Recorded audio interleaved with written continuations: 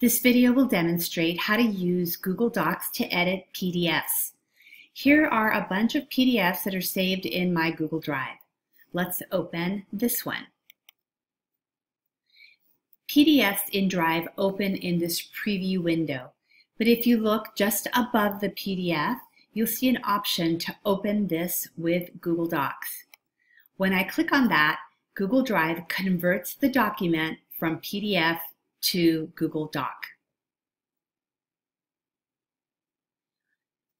While it retains much of the formatting, you can see that it's not perfect. However, you are now able to edit the document, which is not true of the original PDF. One thing to keep in mind is that this document inherits the share settings of the original PDF. So just make sure to adjust that if needed.